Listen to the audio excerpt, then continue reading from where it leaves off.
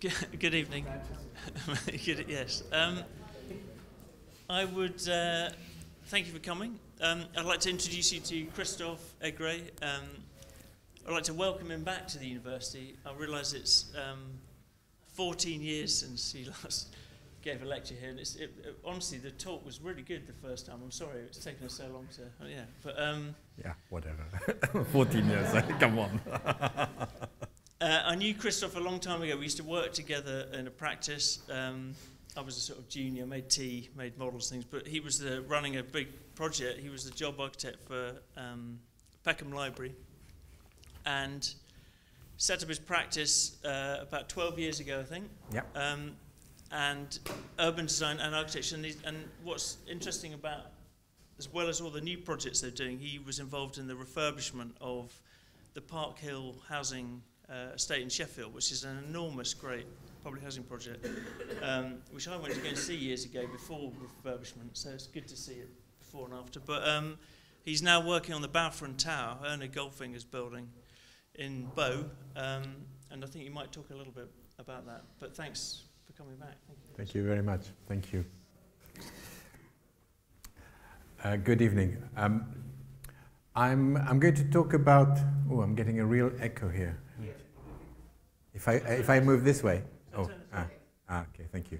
Um, I, um, I'm going to cover about. Still getting. So I have to move this away, so then I get the light in my face. Okay. no, no, it's okay, it's okay, it's okay. It's okay. um, I'm going to talk, I think I've got, I've got 105 slides, so I'm going to go a little bit fast because you probably want to be, I, I, want to be out of here by in an hour's time. So uh, I've got dinner at 8 o'clock somewhere. I'm sorry. if you have a question, you have to be very quick. Um, this is our studio. Uh, this is David, my business partner, David West. Uh, and 12 years ago, David and I decided to come together and build a practice that we call a studio uh, that brings urban design and architecture together. And it's, it was really, uh, we thought, oh, everybody's going to copy us and everybody's going to do the same. And strangely, uh, some people do 20% of architecture and 70 and 80% of uh, urban design, but it's very rare that people actually work together and think about what's inside the red line boundary and then what's outside of the red line boundary at the same time. And and it's a, great, it's a, you know, as young students, it's a really good way of uh, approaching architecture because you're thinking about, when you're thinking about urban design, you're thinking about strategy, you're thinking about how people are actually going to live in places rather than just being obsessed with my building, my walls, my fenestrations, and so on. Um, and so you think urban designers think in a strategic way. They think about how to get from here to there. They think about green, green threads. They think about transport. They think about uh, what kind of businesses are going to work in, at ground level. How can we make meanwhile uses or permanent uses? Uh, what is going to be the, the tone of a place? And then it's a really clever thing because um, it allows you when, you, when you do a master plan or a framework plan, as we prefer to call it, um, you then get introduced to lots of different parts of a, of a master plan, and you get to say, oh, I'd like to do this bit of the building, or, the, or give the tonality to, the, to a place. Uh, and, you, and the last thing you want to do is to do the whole, the whole building, the, the, the whole master plan. Uh, and our, our studio is uh, a studio, as, but it's also on the ground floor. It's very visible. It's uh, practically like a shop. And we have uh, regular talks and we have exhibition. So our practice has become a kind of naturally extrovert and inviting of other people, inviting of collaboration with other architects, inviting of artists and people who don't do architecture.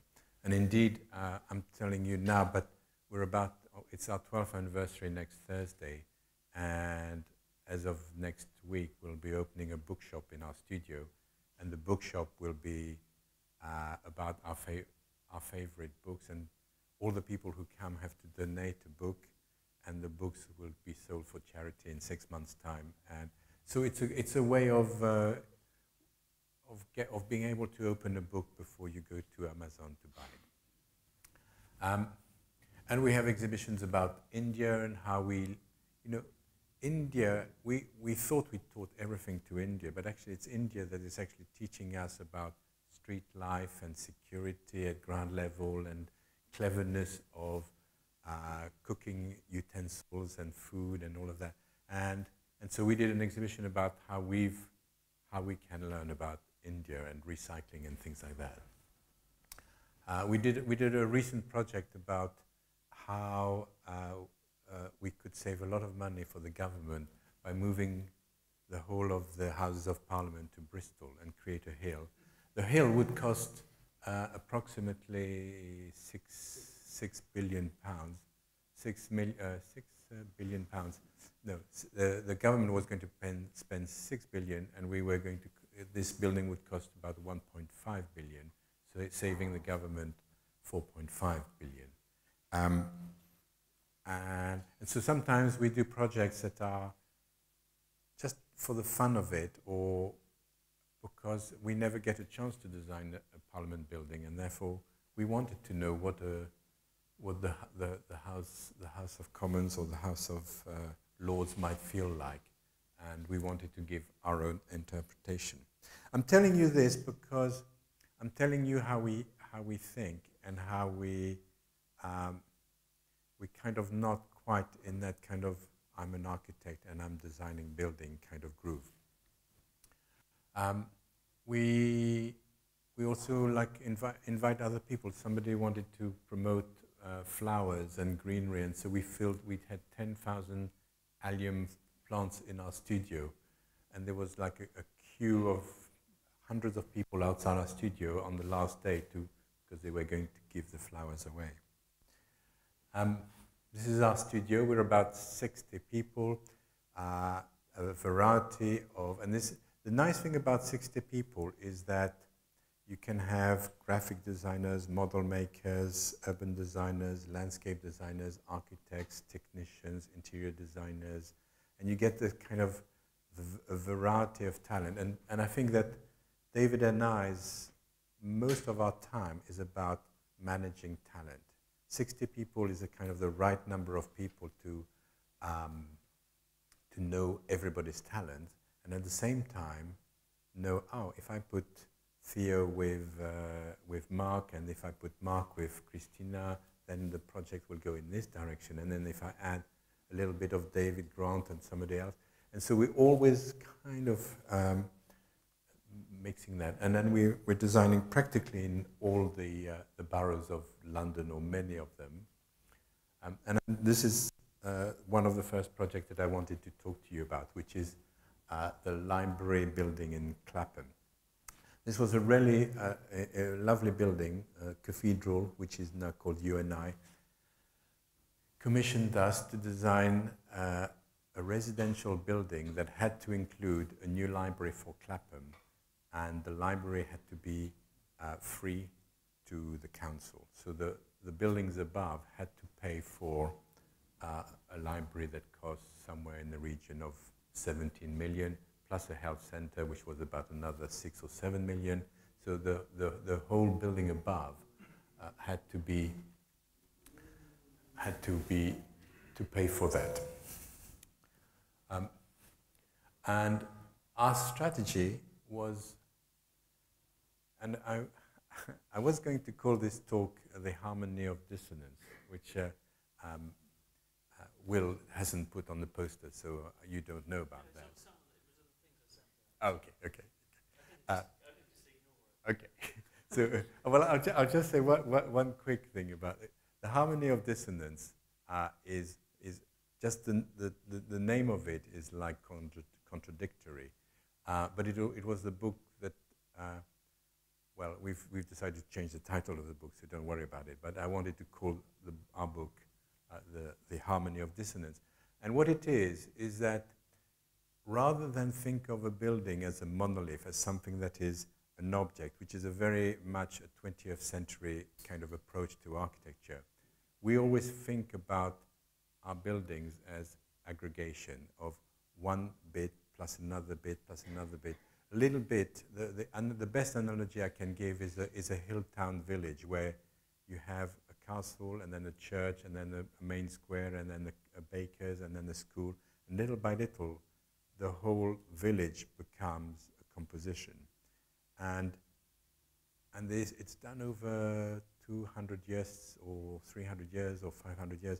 And it's quite nice that the, nothing quite fits in terms of styles. They are dissonant. And yet, when you see them coming together, the person who put the church next to the castle thought about the composition of those two things, and then the person who added the church felt thought about the composition. So the, the elements are dissonant and not harmonious, but the whole thing becomes harmonious.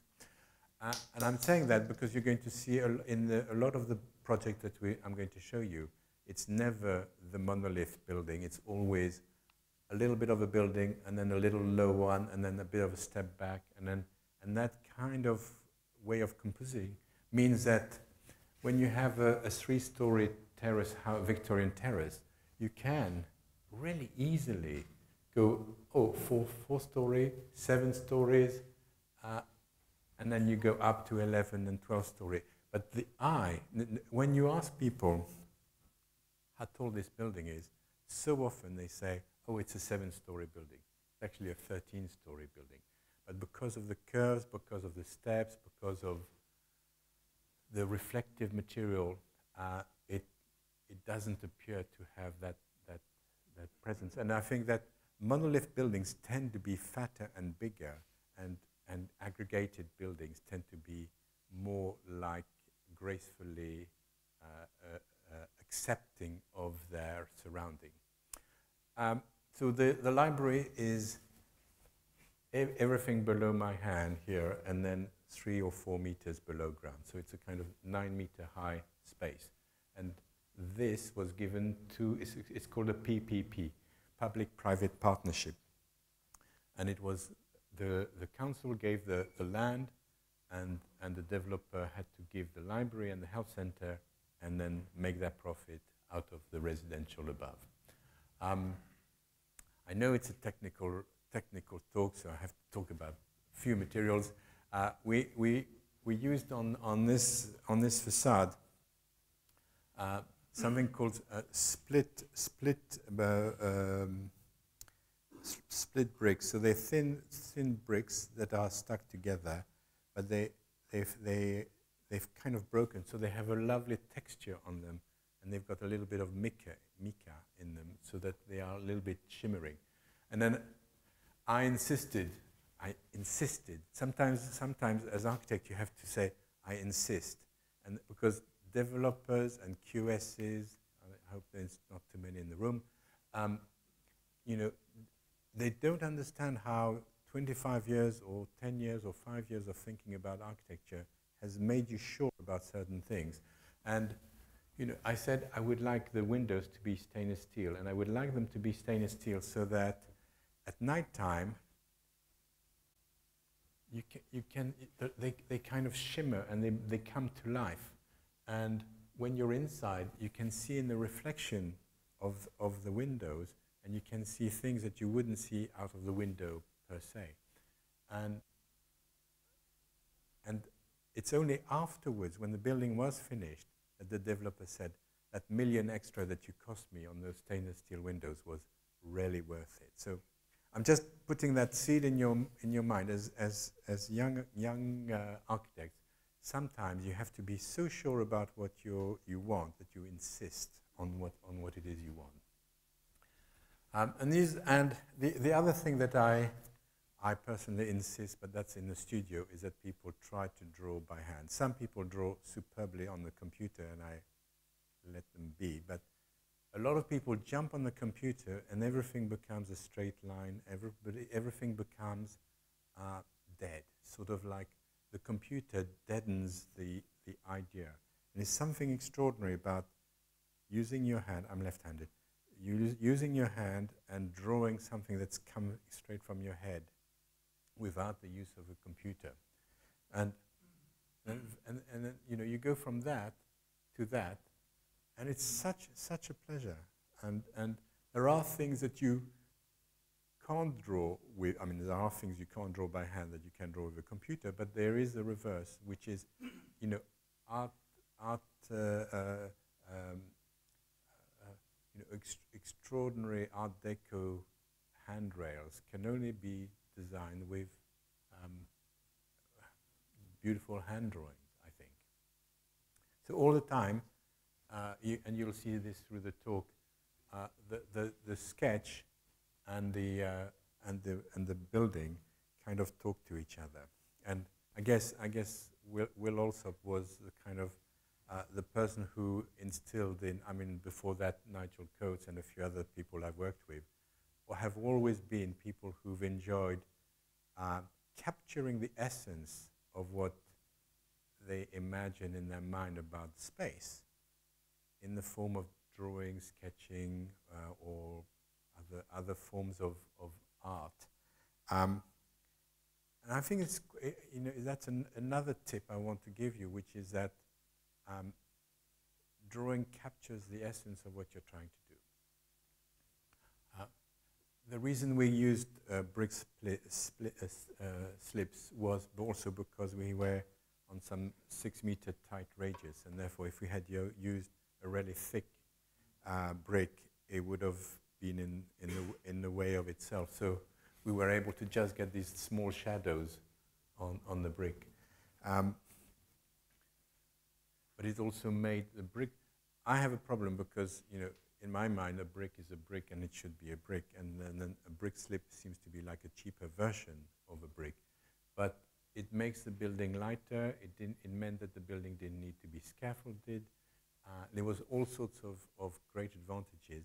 And actually, if you think of the brick as just a waterproofing membrane that is going to be durable and can be sandblasted in 15 years' time to clean it, it's actually not a bad material. And this is the plan. So the, the, the library is, is here, the health center is down here, and then on the, on the flats above, um, the, the, the other clever thing about this building is that rather than having one corridor and apartments on either side, we managed to use a little bit more width and get one, two, three, uh, an arrangement of three uh, uh, apartments and, and then a semi corridor along here, but just one lift core and one means of escape. So in terms of efficiency, we had quite a lot of flats per, per floor. And then by curving and opening, we made sure that every flat had a good view and good sunlight. This is the elevation. This is a section of, of, the, of, the, of the library itself. What what, I, what I like about that is that I, th I thought I had a picture of inside the library, um, is that the main space, what, what normally should be where where you, you keep calm, we said we would put the children in the center. And putting the, the children in the center made the, the place immediately theatrical. Like they make noise, they are happy, their mums are there, and they all talk to each other. And it becomes like a Shakespearean theater. The library becomes not the quiet place that we used to, but a, noisy, a noisy-ish place. But if you want and then the books are behind the spiral, and behind the spiral itself are these little uh, spaces where you can be quiet and write your thesis and so on. So we kind of reversed the way the library is imagined. Park Hill. Park Hill was a project we started, uh, so we were 12 years old, and we started it, I think, when we were like three years old. So that's, uh, and it took, it's taken seven years. So it's sort of been on, on our drawing board for a long, long time. Uh, and it was really, um, I, am I'm, I'm so pleased that so many people uh, enjoy this building. But the first time we went to this building, that's what we saw. And it was like do we really want to do this project? Because you know it really didn't it didn't feel loved. And actually, this building was, you know, at 11 o'clock of 12 o'clock of being completely demolished, until somebody somebody said uh, that English Heritage should protect it, and it became a grade two-star listed building.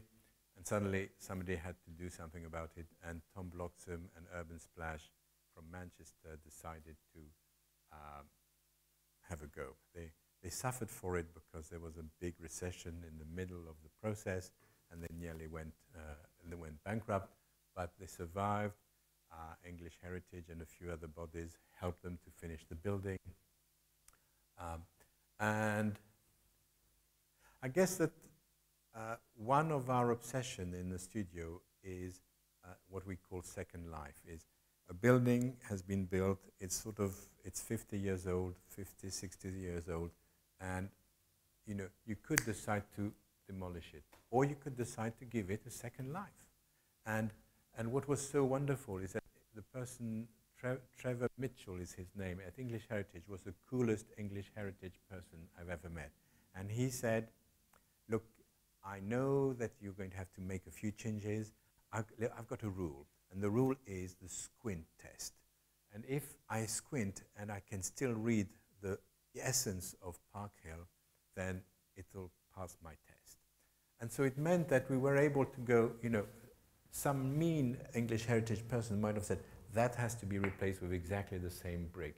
And that fenestration should have been the same. But it would be stupid because that window was designed when the regulations for windows, the technology for windows, was completely different. And you know, you can see that here it feels like, like you're in, incarcerated and there is not enough daylight and, and all the rooms are tiny and small. And so we were able to say, okay, when you squint, what you read is the grid. So let's get the concrete right and let's, let's restore the concrete to its to perfection.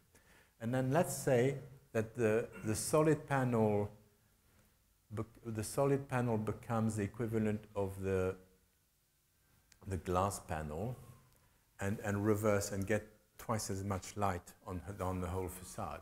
And, and it's, for me, the, the, the, two pictures at the very top, top right are really wonderful. One is, is kind of saying, don't look at me, and the other one is kind of saying, look at me, I'm colorful, I'm, I'm, I'm a building that is part of your city.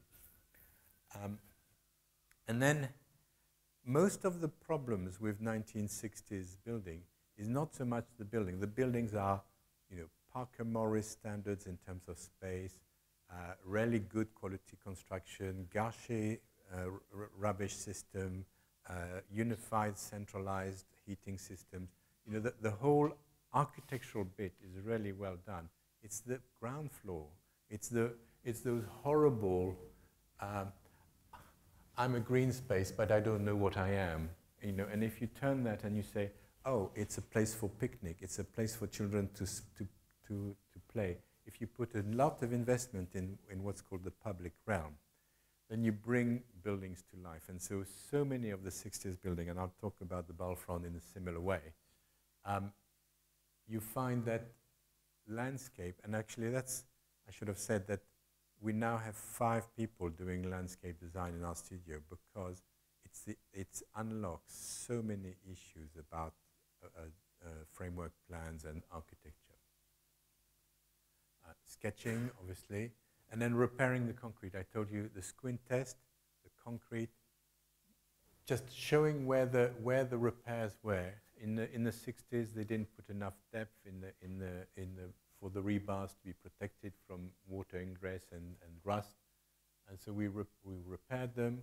We put some new balustrades that were cast rather than these ones. We chose a, a, a color palette. If you look carefully at this facade, you can see that you've got a dark brick and then a, a lighter brick, and then it goes it has different tones, and these different tones relate to the streets in the sky, and, the, and, and each street in the sky relates to three, three levels in the building. So we thought we'll use three, three colors, and those three colors will relate to the, or, or, or the bricks. But rather than make them bricks, we'll make them anodized aluminium, which has a shimmer and a way of talking back to the city. And then, rather than hide the staircases, we put them on the outside.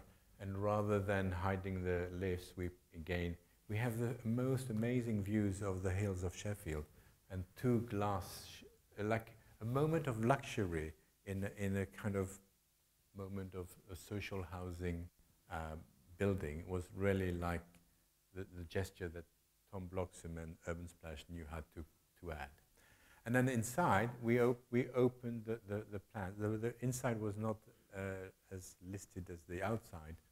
And so by removing all the bars on the windows, you really feel like people were saying, I've got a penthouse overlooking the, the, the, the, hills of Sheffield. And people really enjoy these flats, and they're not expensive. They like, I think they're still under 200,000 pounds each. Um, bit of shimmer, uh, a bit of nursery at ground level, the mixed uses, uh, reinventing the uses at ground level, so and and breaking. A lot of work went on into the landscape because what we wanted to do is Park Hill was like a place that people didn't go to. It was like a ghetto, and what we wanted in our mind from the first moment we drew was it has to be like another part of the city, and you just walk there and go to the best bakery and the best fish and chip, the best nursery, the, and offices at ground level. Uh, these are, you can see quickly in the plans that rather than, you know, in the 60s you had small rooms that were all interconnected, and today we all think about uh, the flat arrangements as being really open and, and connected because, because kitchens have extractors and, and, and we have far, far, far uh, sprinklers and far um, alarms that tell us if there's a fire in the kitchen before it's too late. So we don't need to compartment and also it, then you get more light and you get more, more space, more sense of space. Um, the Shoal was a building that uh, we were invited to, to look at just before the Olympic Games. Uh, the Olympic Games big staircase to Stratford was uh, facing this really uh, grey shopping centre, and they, they essentially wanted us to build some trees to hide the building, but there was no time to build to put to grow the trees. So we imagined the shoal, which is it's like a shoal of fish that is flying through in front of this building, but it's also like artificial trees. Uh, and they were sort of placed around that uh, gyratory system that is uh, Strat Stratford Island. And insi inside of it is this shopping center that's going to change over the years. But this screen, uh, kind of, you can still see the building, you're not hiding the building, but somehow there's like a veil, and that veil is smiling back at you, and that veil is um, is made of, of, of, of uh, sort of petals of titanium. And we had a lot, really a lot of fun because this is me going technical again. Um, if, you, if, you, if you dip titanium into water with an electric current of 23 volts, it goes blue. If you go to 28 volts, it goes green. And if you go to, and it changes color, and it, it changes color inside the metal. Um, so we, we, were ma we managed to get, this is, it, it was not the most sustainable project because the titanium had to be bought, I think, somewhere in Europe, had to go to Japan to be anodized, then uh, to be anodized, then came back to be shaped somewhere else, and then finally came to, to England. Um, but we got these lovely shades, like practically following the, uh, the, the colors of the rainbows of uh, greens and yellows going into reds and uh, oranges further down. And they're, they're on, on two pins at the top, and then there is a big spring here. And so on, the, on a good windy day, it has to be quite windy, I am, I'm afraid to say, th those leaves actually move like the leaves of the, And for, for us, that was a really lovely project because it is not really architecture, but it is. Uh, and yet it was technical and it was, it was kind of um, practically an, uh, like pretending to be nature, to be like moss or greenery or something like that. and then the nice thing is that at night time, if you, you have the lights at the ground and you just shoot the light upwards and then they shimmer. And even most of them are facing north, but they catch the light from, from, the, from the sky rather than from the sun. And they, and they, they, they throw back daylight. Um, and then behind, uh, probably that's, that's our, our slight disappointment is we tried to get them as thin as possible, but because there were so many cables here, those, those legs had to be a bit like elephant legs rather than nice, delicate legs. Um, but they were really clever in the way that they interconnected with each other to give that overall stability.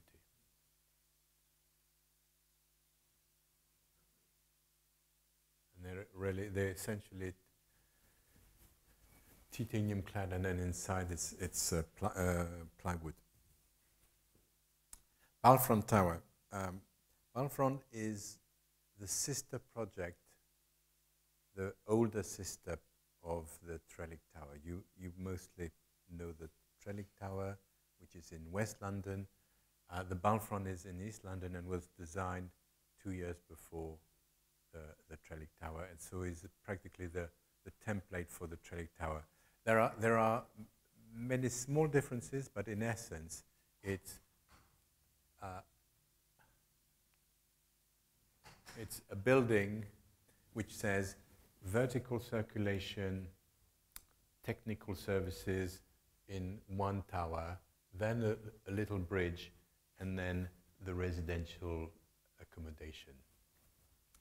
And it, it's actually a, a, a really, really elegant idea. And there's so many stories stories about this building. The, the, way that you, you arrive at it as if you were on the moat, above a moat, and crossing onto into a castle and going into this entrance. And yet there are so many things that just don't work. And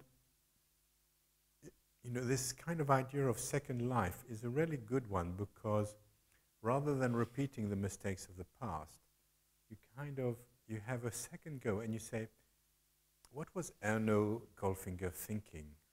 He was thinking about space, he was thinking about views, he was thinking about light, he was thinking about wonderful, clever things. But he missed the acoustic issues or the wind issues or the, the sense of entrance or arrival. So we have, you know, if, we, if we're not too arrogant, you can go and say, Erno's brilliant. And actually, Erno, his wife and him lived for three months in the building and his wife took notes from complaints and comments of people living in the building. So he was interested in making it better. He was thinking about how to make it better for the Trellick Tower, but he was thinking about, he didn't think that this building had to stay like it is forever. Um, and again, this is, this is a tower, it's a funny angle, but that's, that's a tower, and that's the service tower, and that's the main building. But the great, you know, you have to think in urban design about how to get from the, the, the train station, how, what the sense of arrival might be. Um, because these are, those buildings tend to succeed or fail depending on, on how, how you arrive at them. So the first thing we did, practically the first, first thing we did was to draw how, how we would deal with the public realm, how we would put some new, new, new planting. And it's so important, I, I'm, I'm going to kind of labor the point, in the densification of London and all the big metropolis, you know, we're removing that sense of nature. And, and the sense of nature is what probably keeps us sane. It's when you hear the birds, it's when you see the leaves move in the wind, it's when you see the rain falling on plants, that you know that you're still within nature rather than in a computer game. And therefore, you know, if you want to avoid people becoming alienated, you have to, that presence of nature is really important. And that, that sense of community and people talking to each other is, so, is more important, I would say, than the architecture itself. Uh, Balfron is, is more listed than Park Hill. Park Hill was like an inch away of its life being demolished, uh, and this building is grade one, uh, one listed building, and so we had to be much more respectful about the fenestration and how to deal. And this is before, and this is after, and we've you can see we've we've improved the that we've put the parapet back.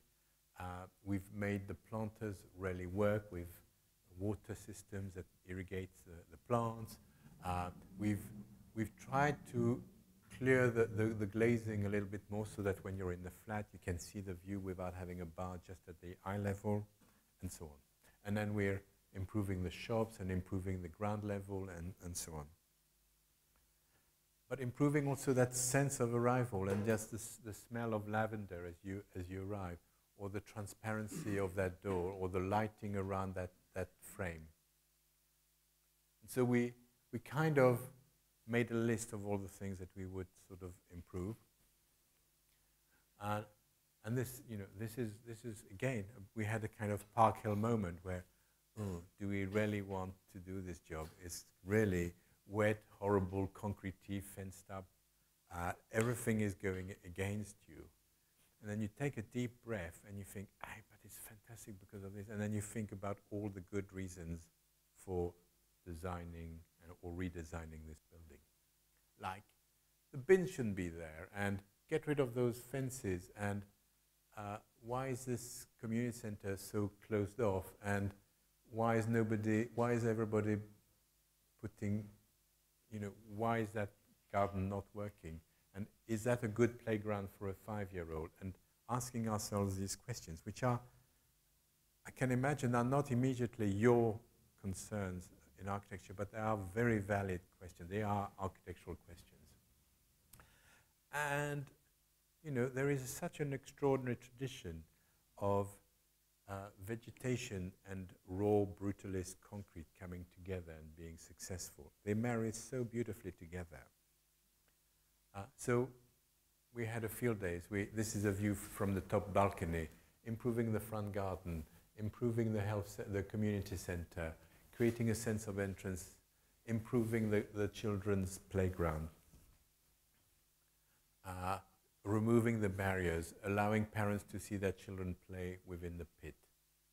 Uh, and then we dealt with the, with the elevation. The elevation went through original failed timber facade on, into uh, PVC, terrible, disgusting, white, uh, uh, horrible fat mullions, and then we went back to a lovely, delicate aluminium anodized uh, frame. And we, we chose a color that is, I always find that uh, darker fenestration looks better because you allow the concrete to be to read strongly. Uh, you know, that the white is just screaming at you and is kind of distracting you from the concrete. Whereas the, the minute you keep the frame darker, then you're able to read the lightness of the concrete. Um, and then we went into the lobby. Look, wonderful things. A little bit of marble. You know, in this kind of social housing tower, Erno Goldfinger put some green marble. It's like, so you, you have to, ah, okay, let's do it. Let's put marble. And let's put a reflective ceiling. And let's put some nice 19, 1930s lighting at the top. We worked with um, Ab Rogers. And uh, it was really nice. Ab Rogers and I and, and we um, did designed the interiors of all the flats, half and half. And it just created that moment of tension. And it's like, like with Park Hill, we worked with Hawkins Brown. Here we worked with um, Ab Rogers design. And, it's, it's, I, and I would say, we, as much as possible, we try and work with other architects. And if, if you remove the ego of the architect, um, and we know who we're talking about. Um, it's, it's a wonderful freedom because you, you can talk to each other and you can improve the architecture 10 times. uh, because it's no longer my architecture, it's architecture. Um, and then in that little tower, or that service tower that used to have water tanks and boilers and so on, on each floor we changed it to a cinema or a, a yoga room or a dining room.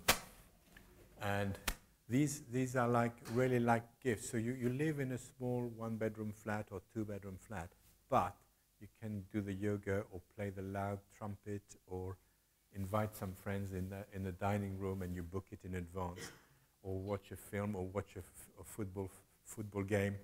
Um, and that happens in the noisy bit of the service tower.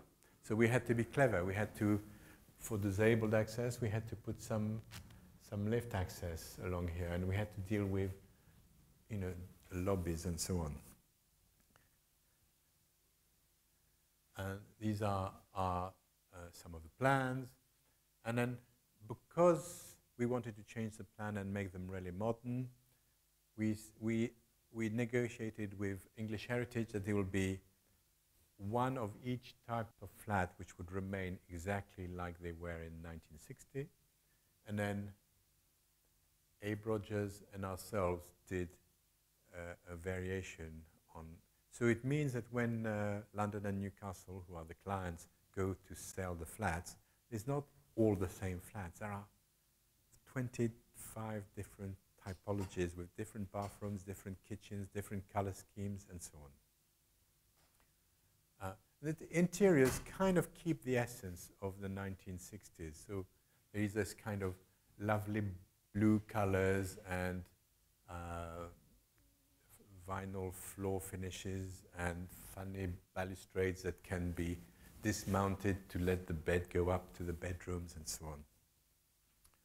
Um, moving on.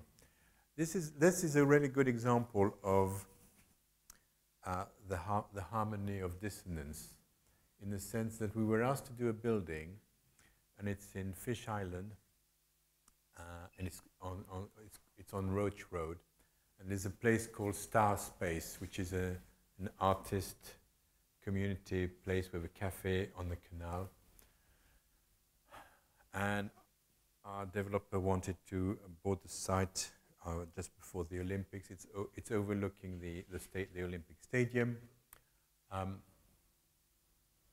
and our idea is, is was to avoid making one building. So instead of doing one building, we did one, two, three buildings. And since there was already two pitches, we thought we'd continue another couple of pitches and then we'd do a flat, and the flat would link up with, with this building, which is existing and not of great merit. Um, and then we thought, ah, there's going to be a bridge here. And we wanted to continue the artistic community. So we, we created a double height, affordable workspace space that artists or an artist uh, company would rent to sculptors and painters and, and so on. And for us, this is the sort of building that we love, where the ground floors are mixed uses and the residential are above. And this, you know, at the moment, residential is always the element that has the value, and everything else costs money. And so, all the time, you, you make an argument that it's really important to keep ground levels vibrant and alive and full of people, and, and they must exist. And, and then we have to go a little bit higher. And it was just a, a little, little bit of a battle with the planners to make the point. Uh, and what I really like about this is we've, we, we created a communal, a communal terrace here. So, you know, how do you make people who live in flats get to talk to each other? And if you have this, this communal garden at the roof, that's, there's a good chance of that happening. And if there's a cafe here, people will talk to each other. The most important thing to do in an urban environment is getting people to talk to each other. This is really, um, you know, 25 years ago, I, wa- I lived in a street and I hadn't talked to my neighbors. And then five years ago, we had a, a Jubilee summer party and the street did a, a party. I'm telling you that because suddenly I've talked to my neighbors and now we, I go to dinner and I talk to them and then they tell me about their plumber and I tell them about the music that my son is doing, and then, and, and then magic happens. But if you don't talk to each other, it's much harder for magic to happen. And therefore, try to make architecture where magic happens. um, and I guess I'm, I'm showing you the, the drawing and then the, the building, and it's just that, that pleasure of, you know, the reason we decided on black timber is because on the canals, timber to build the city arrived on, along the canal on barges. And then a lot of timber yards would be on the edge of, of, of the canal, and they would dry the timber that was still wet in these tim timber structures that had the wind coming through and would allow, allow them to dry, but were protected from the rain.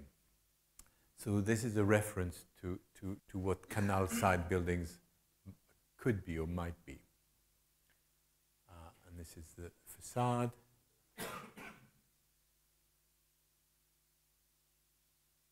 And what we, this is the, this is the, the canal side, this is the bridge side, and this is the road side.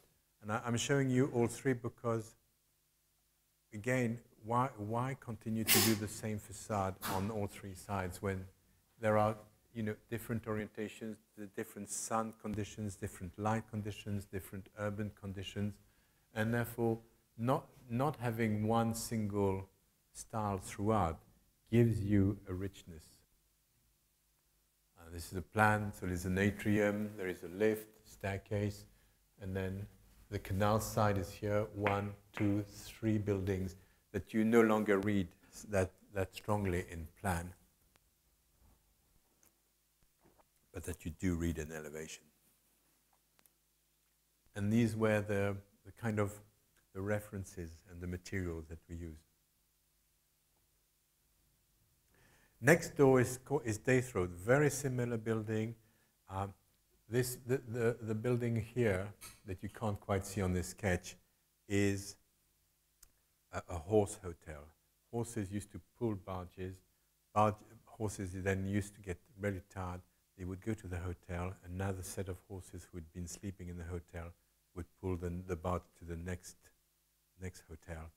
Um, and somehow that building for the LDDC, the London Legacy uh, Development uh, LDDC, LDDC uh, Community uh, uh, Corporation, thank you, um, felt that it was a building worth preserving. Uh, and there was this funny structure in front of it, and we kept it.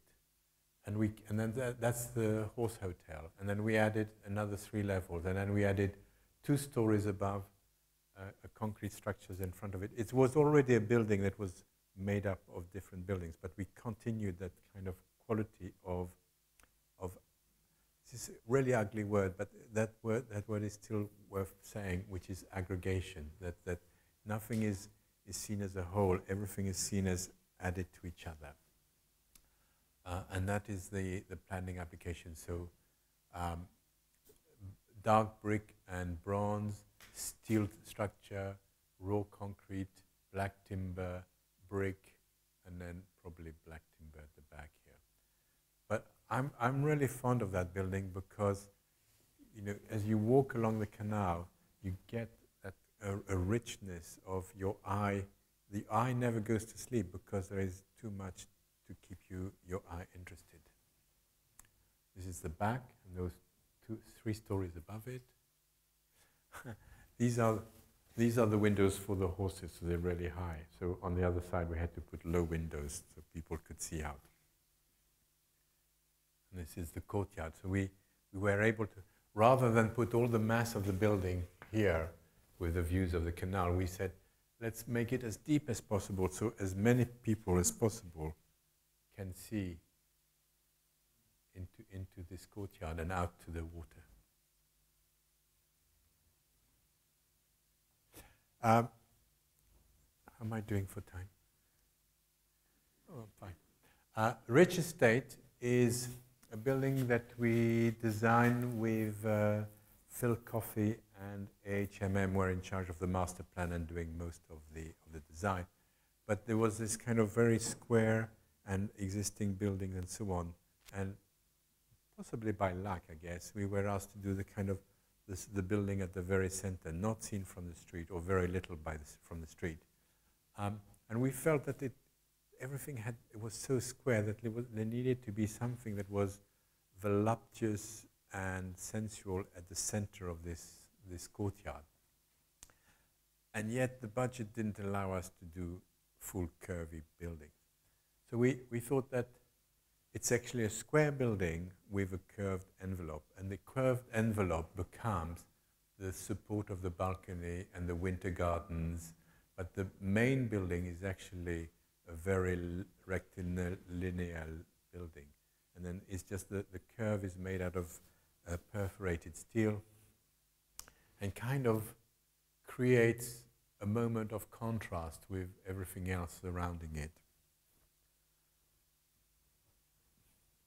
And all the time thinking about, you know, that and that and this and the trees and all those things are as important as the building in, in our mind because they are the things that you touch, the things that you that are soft, that uh, that that 99% of people experience rather than just inside the flats. And that was that's the moment we we won the the kind of the the QS battle. Ah, it's a very straightforward building. It's very square, and this is just the delicate edge on the outside, and that delicate edge is working really hard to provide outdoor amenity spaces and, and winter gardens. I'm a real fan of winter gardens because every, every you know, legally you have to provide five square meters for a one bedroom and seven square meters of terrace for a, a two bedroom and so on and so forth.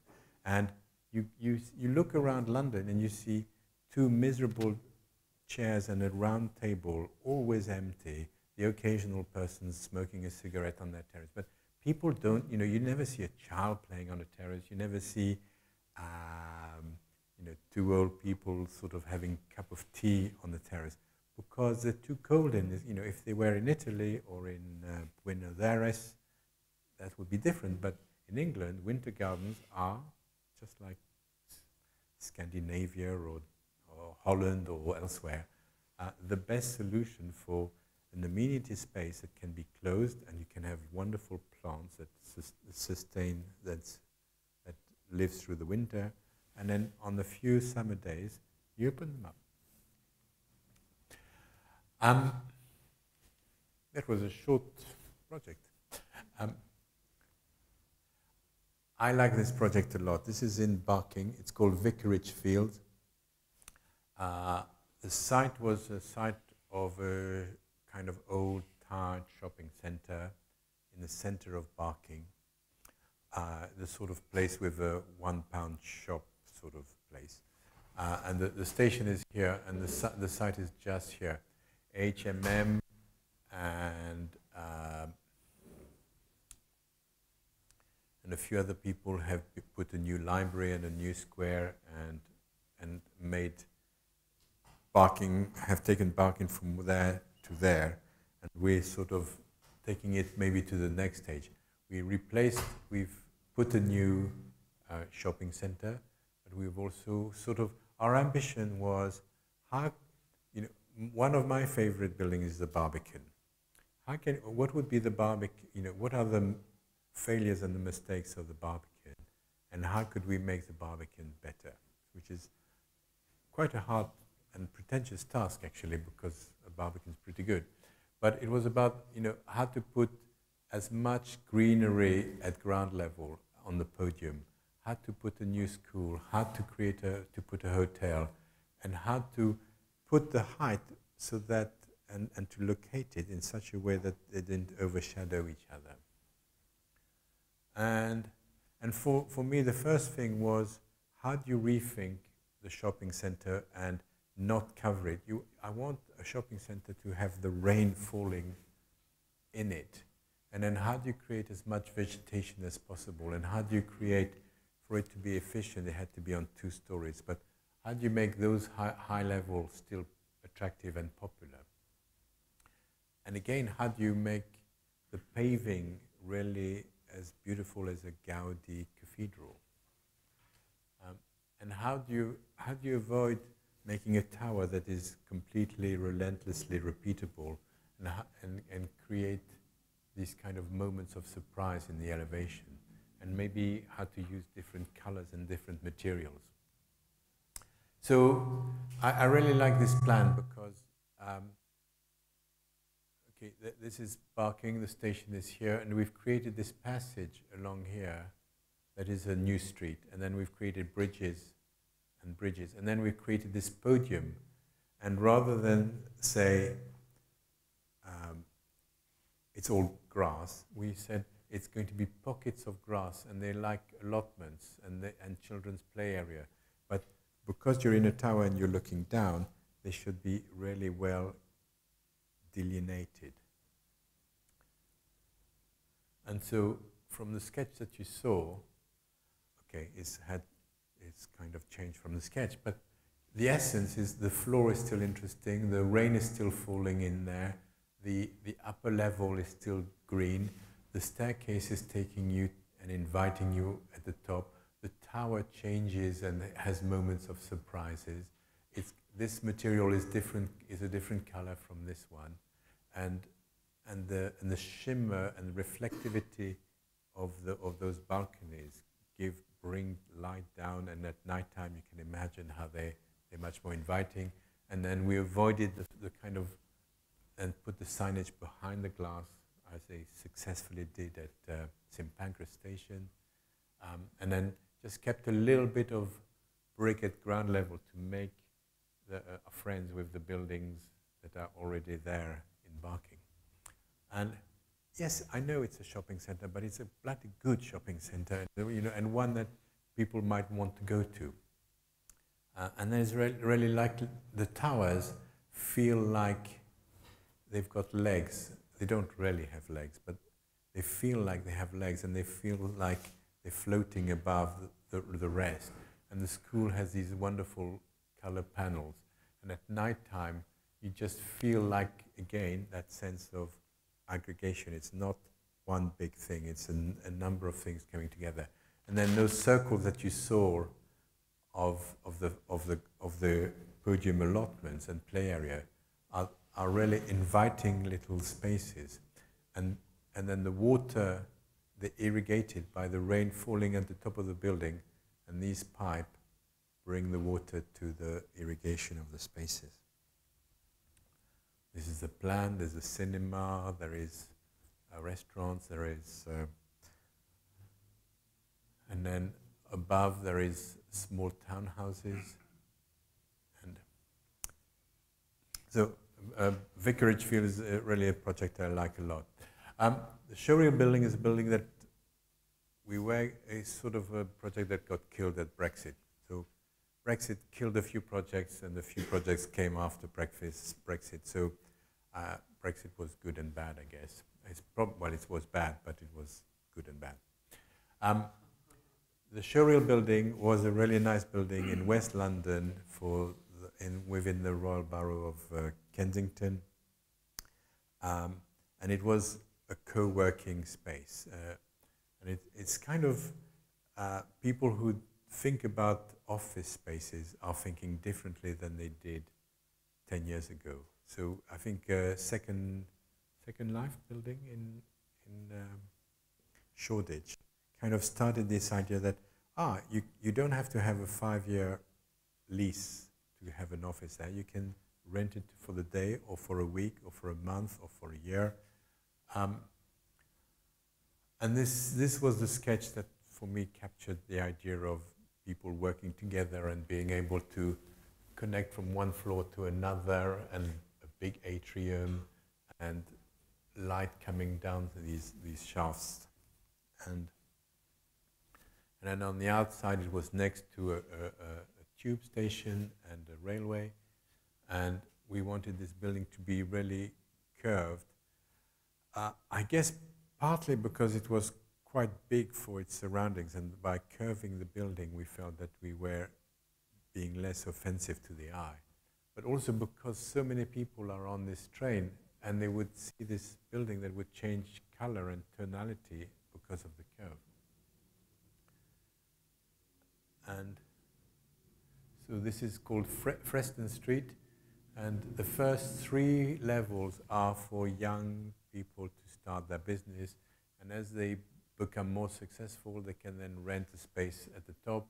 This terrace becomes uh, public to all the people, and then below there is recording studios, maker studios, uh, filmmaking studios, exhibition spaces. So a, a really, uh, uh, this is like the, contem- the contemporary version of an office space where it's, it's for your generation. You know, you're happy with an iPad and a cup of coffee and you can work downstairs, upstairs here. This is the sort of building you would, you would love. Uh, it's transparent. Uh, it has good coffee. It has people that are of different kind of of of crea- in, within the creative businesses do different things, and you can co-work with each other. Um, so, uh, auditorium, exhibition space, workshops, and then uh, slowly as you go up, the atrium becomes.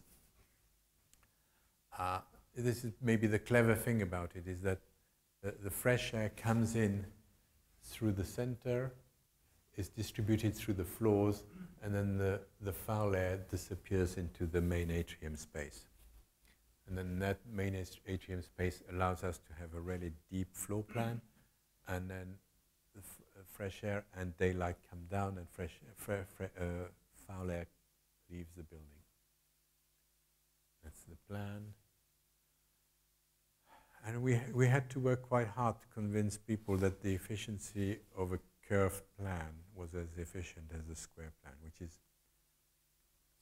And the man said, yes, but how does a client put their paintings on the wall? And he said, well, just put a few, a few straight lines. We, we, we changed the plan a little bit to, to, to allow for paintings on the wall. Um, I, I think this might be the last project. This is this project is on site. It's going to finish in about six, seven, eight months' time. It's in Bath. It's probably the only curved building, apart from the circus and the and the crescent, uh, in uh, in Bath. What was really what is really nice about Bath is that even when buildings have to meet QS regulation, Bath comes and says yes, but it has to be made of stone and, and then suddenly you have this wonderful question to resolve of how to curve stone on the, on the building. And, and it was, we, we probably came to Bath just at the right time when we thought they wanted us to make a straight building. And this councillor said, I think it's time we had some curved buildings in Bath. And our brains are curved and our buildings should be curved. And she was a little bit cookie, but she she, she managed to um, help us design a curved building. Um, and so we went, you know, from a square to a curve, and from a curve, how to kind of erode, erode the curve and step them. And actually, because it's curved, but because it steps back, it becomes an eight-story building that feels like a five or six-story building. Um, and we wanted all these setbacks to be really not projecting balconies or not recessed balconies, but actually uh, like, a, like a ziggurat, like a, a moment where the building gets shorter and then shorter and shorter, a bit like the, ba- the Babel Tower. Um, and, and to try and, and, and include as much vegetation as possible on the facade. So then stone and, and vegetation become the key elements. And then the, the other thing was that every recesses that we would put would have a, a, a color. And when we went to visit Bath, we went to the Roman baths, and there was this waterfall, and, and because the, the water has this iron in it, it had made the, the stone all orange. And we thought that's so that's a valid, you know, we can go to English heritage and talk about the color orange being on stone being a, a viable solution. And so you can just see the orange in all the recesses, the stone, and then all the balconies, all the balustrades of balconies in, in Bath are really shallow and really quite beautifully cast cast iron. And instead of using cast iron, we used we looked at the the pattern on the on the Brunel's bridge, and we we kind of follow that same pattern along here, kind of really delicate touch. Um, and, and this building is one, two, three, four, five, six, seven, eight stories tall, but appears to be much, and, and, and it had to be curved. Well, that was our argument at least, uh, because it, it was, it's a pavilion. It is actually, people can walk along all around it. It doesn't have a front or a back. So when you don't have a front or back, you have one more reason to, to make it sensual and curved and soft. Uh, this was the sort of the, the, story, the story of how we made this building.